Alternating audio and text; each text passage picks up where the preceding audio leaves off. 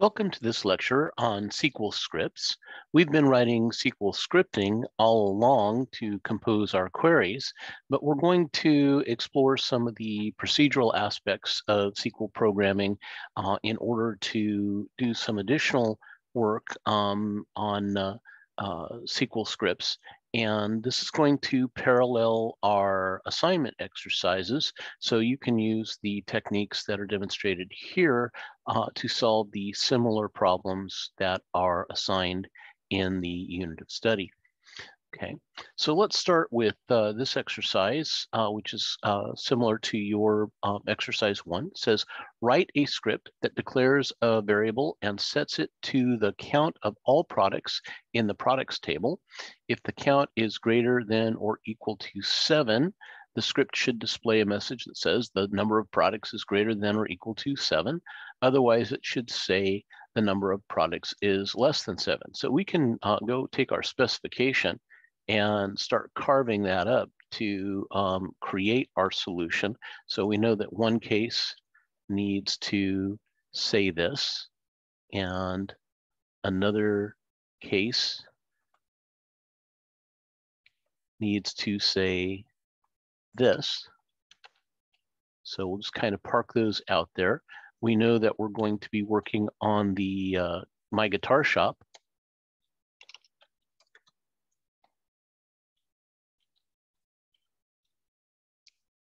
So let's start that off.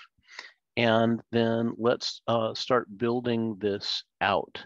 So um, we know that this is a decision structure here. Could be a case, could be an if. Let's build it with an if. And so if, and for right now, I'll just say some condition is greater than or equal to seven. That's our pivot point. Then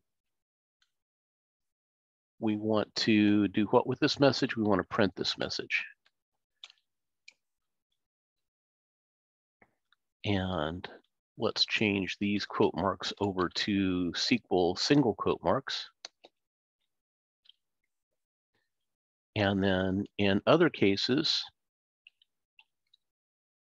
we want to print this message. And again, I'll convert that to SQL style quotes. And then uh, this some condition, we need a variable. We put a placeholder in there for that. So we need to declare a variable for that. Um, declare and uh, preface it with an at sign, and let's call it product count. And what would be an appropriate uh, data type for um, the number of products. Well, uh, we probably don't have fractional products, so I'm guessing that's an int. Uh, if we wanted to go double check it, we could come in here into the um, uh, tables and take a look at the products table and take a look at the columns. And if we take a look at the um,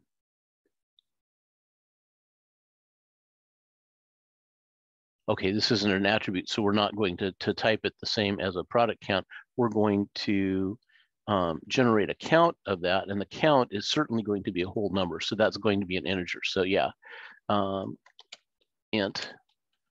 So, um, and notice that we, we sort of in the batch with a uh, declaration of the variable. Now the variable has, the, the batch has processed by the time we get to the next line of code, so that variable will have an instance. It will be instantiated. It will exist in memory and then we can start referencing it. Okay. And then we need to get the count of uh, products from the products table and store it into that variable so that this can work. And then we'll take some condition and we're going to replace that with at product count.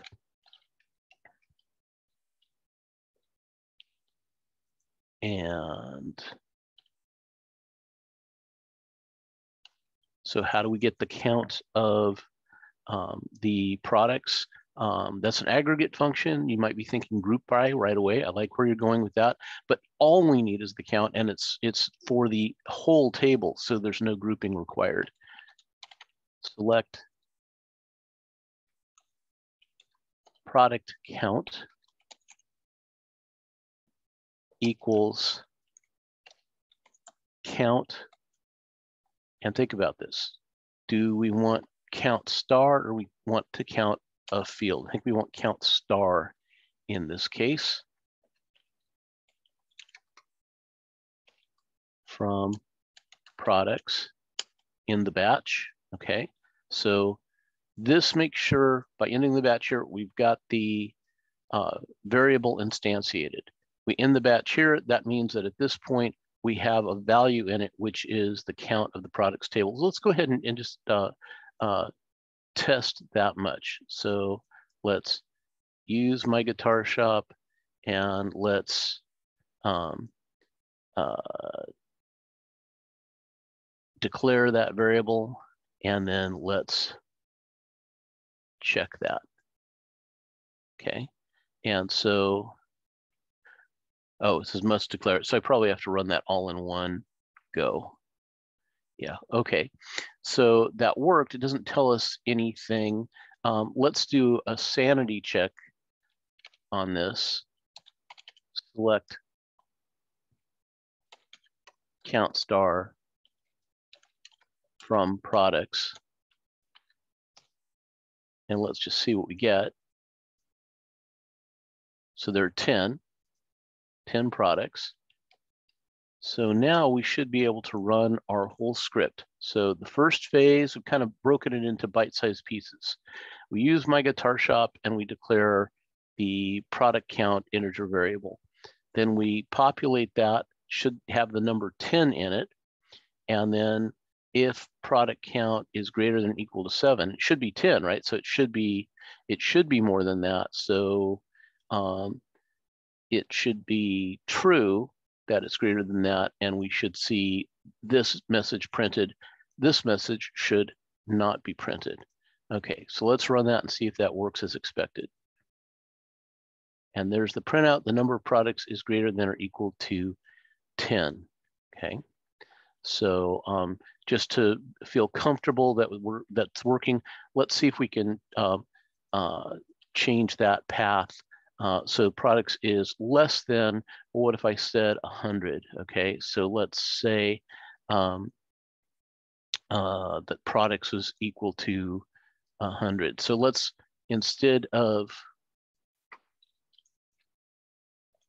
populating that variable this way,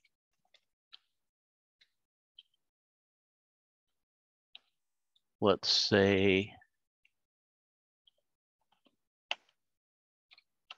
at product count equals 100. Can we do that that way? Do we need to, we need to set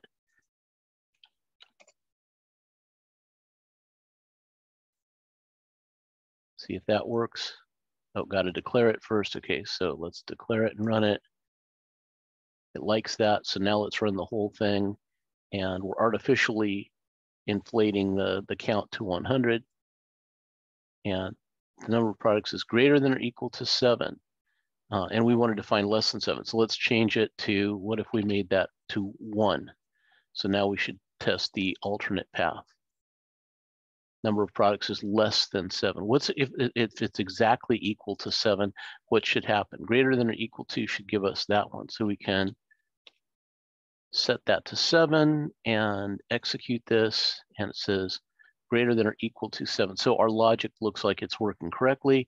Now we can go clean this up. We don't need that, that we put that in for testing.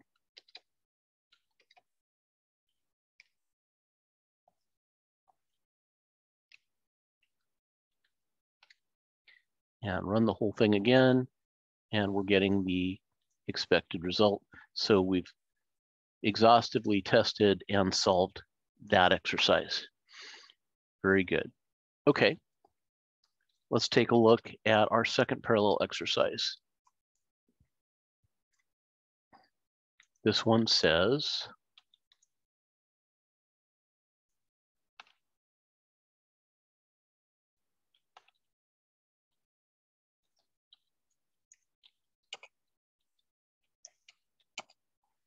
write a script that uses two variables to store one the count of all the products in the products table, and two, the average list for those products. If the product count is greater than or equal to seven, the script should print a message that displays the value of both variables. Otherwise, the script should print a message that says the number of products is less than seven. Okay, so I can see that we're, we've got a couple things to do in our queries. Let's start with, with just writing simple queries to give us the pieces that we need. So we want the count of all products in the products table. Select count star from products.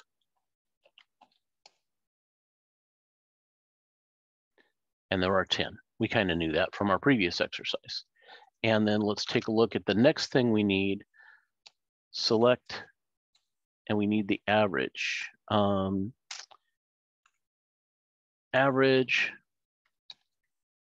list price from products.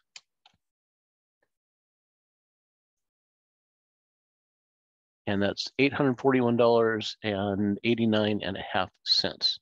Now we can combine these two like this for a little efficiency. We don't need separate queries for that.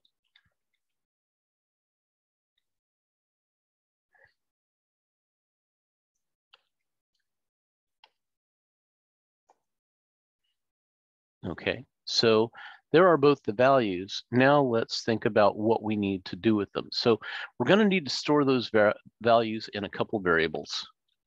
Um, so let's, uh, um, uh, well, and for form, if we were running the script from scratch, let's go ahead and put the statement in, use my guitar shop. Oh,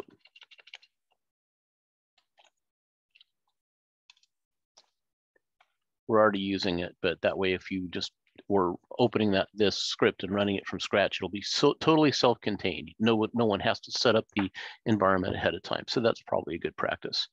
And then we're gonna need a couple variables, declare something and declare something else. And uh, let's see, we need to store the product count. Let's just call that product count.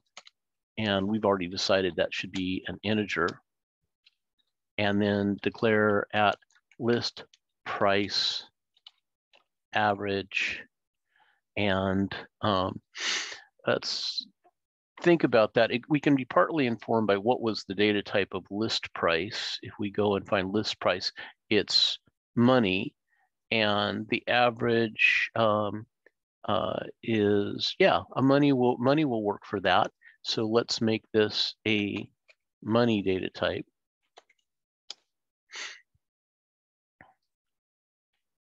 And now let's populate our variables. So we want at product count to equal count star. And we want at list price average to equal average list price. So that's going to take the query we had already built and uh, use it to populate our variables. So now we've got our variables ready to go. And now we need to parse our requirements again and say, what are we going to do about this? Okay, so um, there's one condition, um, and that is if the product count is greater than or equal to seven, then we're gonna do some stuff. And then else, we're going to do some other stuff. And then we're going to end the if block. Okay. So what goes in for the stuff? So we've got uh, uh, essentially what we're going to want to do here is uh, print some information. We want to print uh, the product count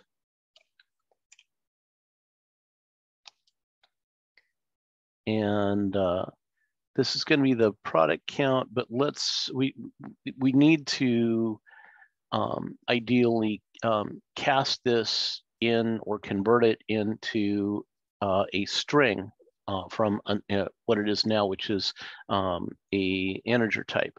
So let's do it, number of ways we could do that, but let's do it this way. Let's use a convert. Uh, so let's convert to varchar at product count.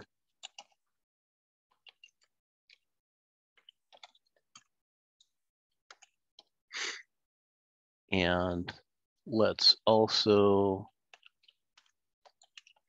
print the, this message. List price average. And same drill let's convert to a varchar the list price average. Uh, let's make sure that that matches.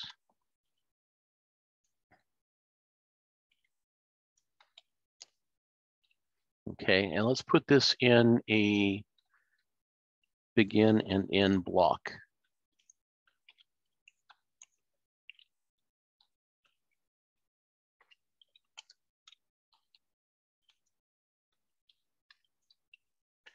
And the uh, indents are not um, important to the computer. They just, for human beings, make it a little bit more readable. And we, IntelliSense is telling me I misspelled the variable name instead of at product, at product count, count.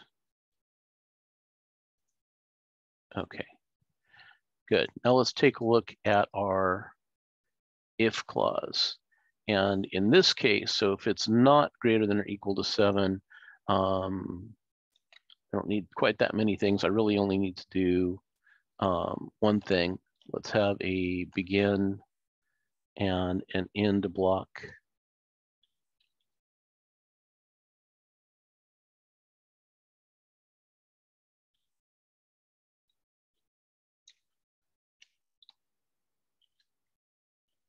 And what let's do here is let's print and the message will be the number of products is less than seven.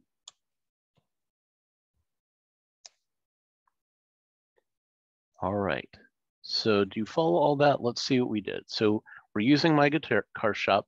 We set a couple variables, one to hold an integer, one to hold money.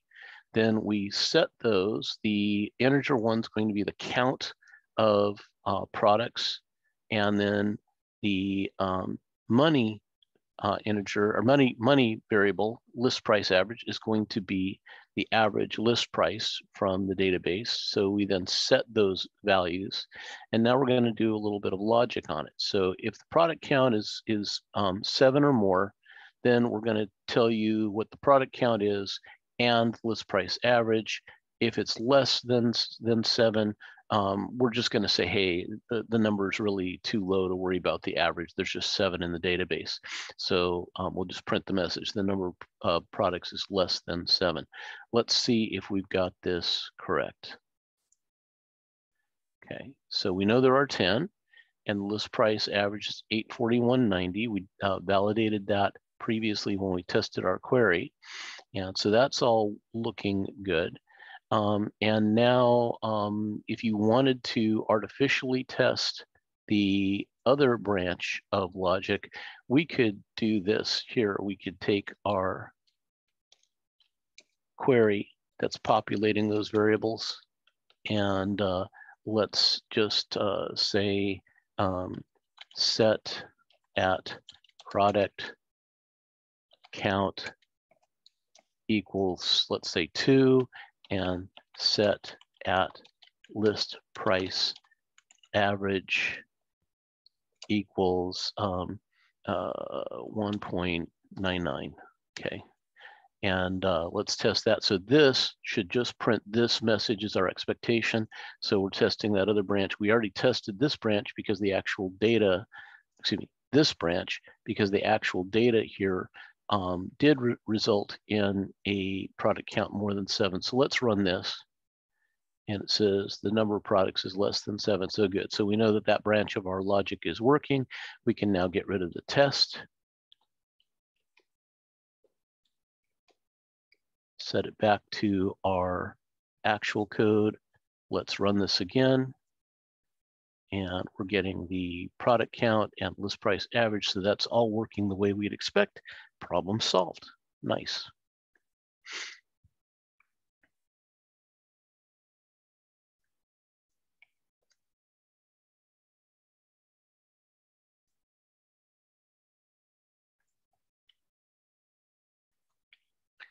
So problem number three.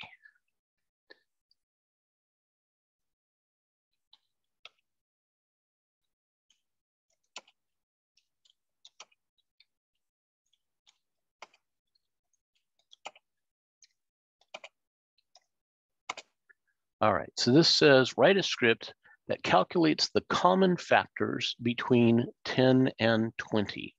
To find a common factor, you can use the modulo operator. Remember, the modulo operator is um, going to do the division, but it's not going to return both the quotient and the remainder. It's just going to give us the remainder type, and we're going to be looking for um, if it divides evenly, we want the remainder to be zero, right? Okay, so if it divides in and becomes zero, then it's a it's a common factor. Okay, so check whether a number can be evenly divided into both numbers, then the script should print lines that display the common factors like this, common factors of 10 and 20, and then it prints each of them in turn on a new line. Okay, so probably the only really tricky thing here is the math. You may have to think about that uh, a little bit, and you may need to read up on the modulo operator to see exactly what that is doing for us. Again, it's returning, doing a division, but it's returning just the remainder.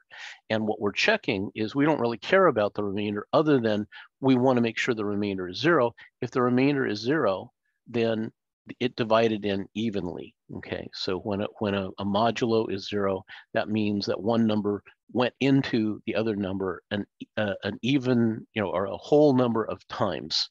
Okay, so let's uh, let's see here. We're gonna need um, some variables. So let's have um, start off with using my guitar shop.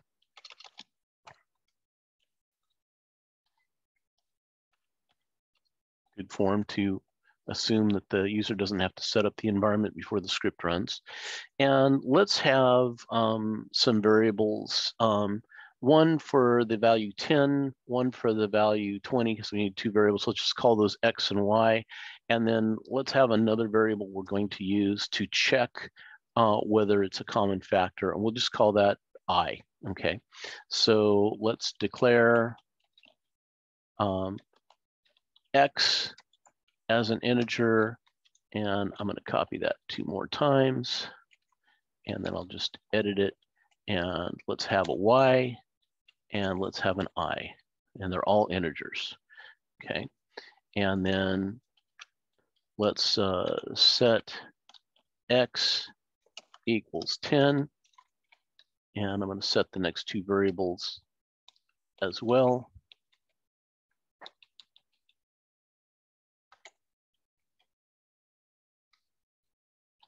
And this is kind of trivial because we're hard coding the uh, the the variable values.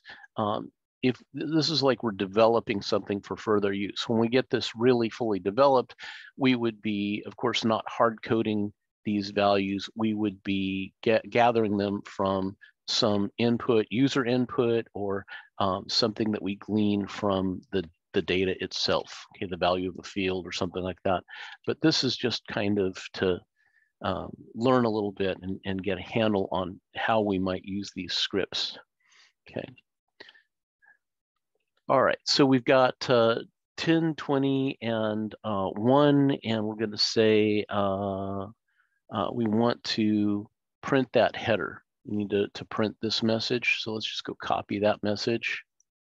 And print common factors of, and uh, uh, you know, we, we could hard code it this way and say 10 and 20 because we're going to hard code the, the entry, but let's be a little bit more forward looking for when those variables could have different values. And let's go ahead and convert to varchar.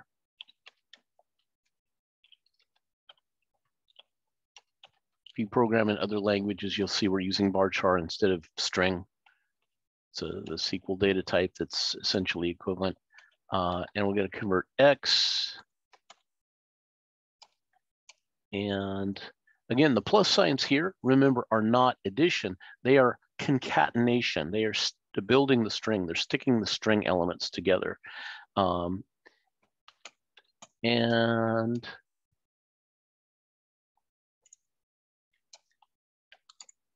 convert to varchar y. Okay, so there's that's going to print this header that we want printed out. Common factors of, and then x is 10 and y is 20. So it'll say common factors of 10 and 20. Nice. So what's the next thing we need to do? Okay, so we need to go through um, and uh, uh, iterate through all of the possible uh, numbers uh, between the um, the range that we're testing um, in order to uh, see if, if any of them have a modulo result of zero. And if the modulo is zero, then that's that one's a keeper. Then we're going to print it because it's a common denominator, right? Okay, so um, let's work from the innermost part of this structure out. So if we find a winner, what we want to do is we want to print, convert to varchar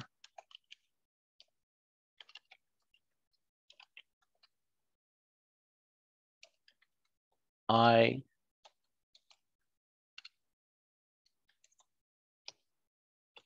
So this is what we do if I is a winner. Now I is currently one, but we're going to step that through to find every possible um, uh, divisor, right? And so how are we going to do that? Well, let's wrap this whole thing in a begin and an end block.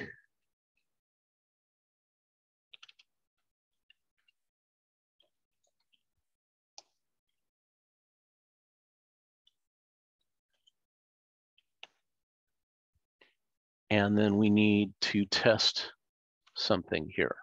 So if, and what is our test to determine if it is modulo zero, which is to say it is a divisor, okay, and a, a, a common factor, okay. So if y, and here's the modulo operator, this does the modulo division,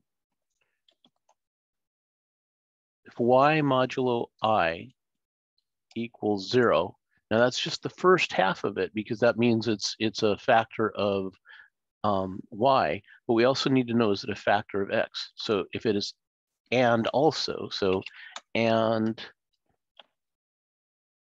x modulo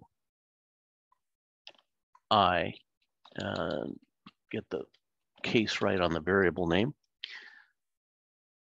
equals zero. So if it is, if, if we divide y, y by, by the current value of i and x by the current value of i, and both of them have no remainder, then it is a, a factor of both. It's a common factor. Uh, isn't that clever? Okay, you might need to chew on that a little bit and kind of play with that to really see how the modulo operator is working. Okay, and um, then we're going to set i equals one more than it was. So uh, at i plus one, and then we need to iterate through this whole thing. So um, this needs to go from one that we started at, and then two, and then three. How far do we need to go until it gets to X, right? So to, for one, two, three, four, five, six, seven, eight, nine, 10. So let's go ahead and uh, fix that. How do we get it to iterate? We make it a loop while i is less than x.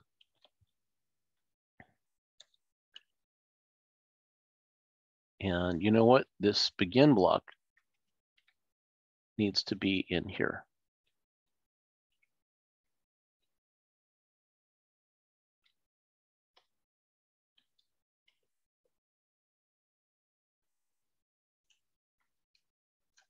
And now you can really see why indenting helps to make the code a little bit more readable. Okay, so we're going to print out the header and then we're going to go into this loop and we're going to loop um, through all the values from 1 through 10 and we're going to check if it's a common factor and then if it is, we're going to print it out on a new line. Okay, so that should give us one, two, five, and uh, um, let's do this. And I see something, I'm, I'm working along with the uh, uh, textbook authors uh, guidance on this, but 10 is a, is, a, is a factor of 10, and 10 is also a factor of 20, isn't it? But when did we stop? We stopped one, two, three, four, five, six, seven, eight, nine. So let's let's do it the textbook author's way, and then let's check it again and see if we can maybe improve on that a little bit. Okay, and I've got a syntax error in line 19 near a comma. So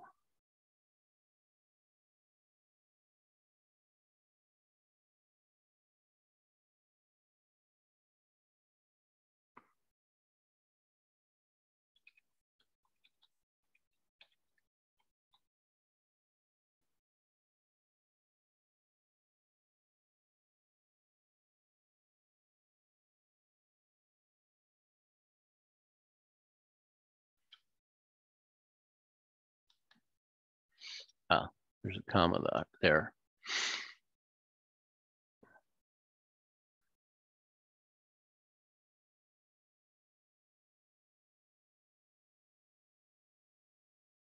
Okay, common factors of 10 and 20, 1, 2, and 5. And again, we're stopping here. Think about this is, is i less than x. What if we made that i less than or equal to x. Yeah. So um, I would suggest that 10 is a common factor of 10 and it's also a common factor of 20. So this is actually the correct logic that we want there. Um, so I will make a note of that and update my notes. Uh, hey, we caught the, the uh, textbook author out in an error. Yay. All right.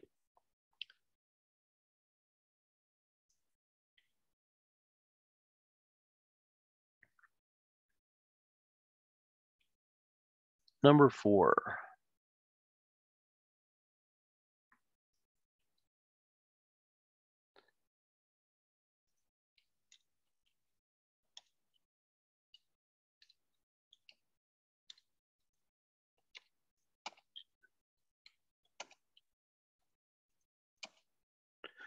All right, so this one says, write a script that attempts to insert a new category named guitars into the categories table. If the insert is successful, the script should display this message. Success, record was inserted. If the insert is unsuccessful, the script should display a message something like this. Failure, record was not inserted. And then it's going to go and return to us the actual system error, the standard error um, that uh, the SQL Server is reporting. And in this case, it's going to be violation of unique key constraint, UQ, et cetera, whatever the, the um, key constraint was, cannot insert duplicate key in object and the rest of that stuff. Now, we don't have to code all that. We just need to know how to call the standard error um, or capture it and then um, pass it on to the user. Okay, so um, let's take a look at what we need to do to do that. So again, best form, use my guitar shop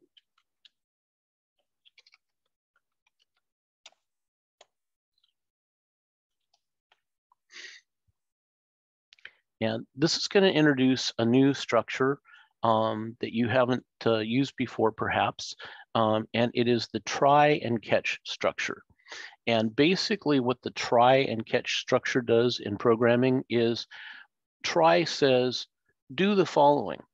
However, if an error is encountered, then rather than just crashing the program because the error is not handled, when, when an error happens, don't panic, go over to the catch routine. It catches the error and it's going to take care of the problem for us. So you don't have to crash the, the computer, you don't have to crash the program, or you don't have to fail over to some arcane default message. We want to give you a, a, more meaningful message. And ideally, having anticipated that an error might happen, we're going to handle it gracefully and allow the program to resume and do other processing and, and not you know, have everything come to a screeching halt. Okay, so we're going to have a try and we're going to have a catch. And the try has a begin and an end. So we start with a begin try, and then somewhere later it ends the try. And then same thing with the catch. We begin the catch, and then we end the catch. All right, so what's our try? What are we trying to do? Well, we're going to attempt to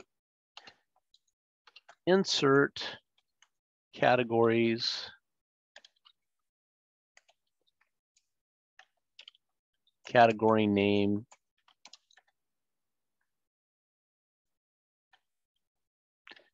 values and let's say guitars So we're trying to create a new category, guitars. And if that works, let's go ahead and print success. Record was inserted.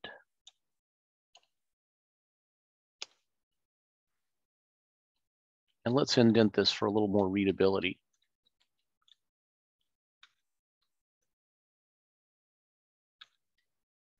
Okay, so we attempt this. And if that works, that's all great. We get this, this happy message. But if it does not work, then what do we want to have happen? Okay, so if it does not work correctly, the first thing we want to do is print the message that was required failure. Record was not inserted, but we need to give a little bit more information than that. And here's where it gets um, a little bit heady because we're going to compose a string, it's print error, and then we're going to convert to a varchar the error number that was received back from the system.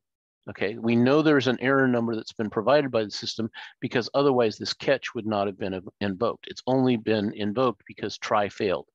Okay, so we know if, if that try failed, it, a system error has been generated. So we're going to give you the, the error number from the system, and we're also going to give you the error text from the standard error message. Okay, so that's where all of this highfalutin um, commentary came from, the system generated it. Um, we're giving you a little friendly explanation of what happened. It's like, hey, the record wasn't inserted, and here's why. So the user probably needs to know this, and then when the user reports the message to the help desk, the engineer needs to know that. Okay, so we're making it both friendly to the user and useful to the um, uh, the, the help desk or to support when an error is encountered. So let's try this and see if it works correctly. Okay, so it failed because violation of unique key constraint, UK category, cannot insert duplicate. So we already have guitars in there, right? And, and we can double check that and see that that's, that's why if we say um, uh, select star from and uh, uh, it's categories, right? My guitar shop, categories, star from categories. If we run that, we see that sure, guitars already exist. Um, so we don't have tubas, right? So what if we were to change this from guitar to tubas? We would expect to see that the record um, inserts correctly. So it's great, record was inserted. And now if we go and look at it,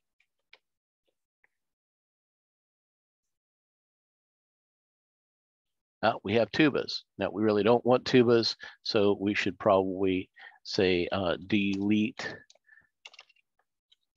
from categories where category name equals tubas and fix things up there.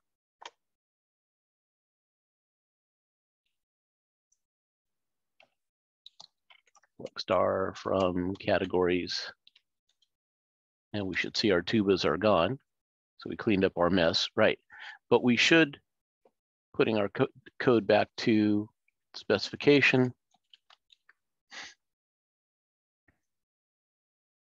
get a failure, and it tells us that the record was not inserted, and it gives us a system message explaining why was that failure encountered. So very good.